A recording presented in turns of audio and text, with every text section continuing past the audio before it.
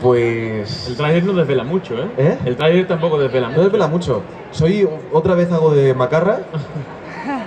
Soy un macarra, pero, pero fíjate, ha, ha sido un, un reto grande porque cuando hice el casting y me cogieron para la serie, dije, ay, qué peligro y qué miedo me da hacer un personaje muy parecido a Denver.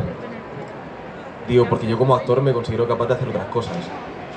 Y está muy bien porque es un macarra muy diferente a Denver. Es un tío más listo, porque Denver tiene una inteligencia emocional alta, pero práctica menos.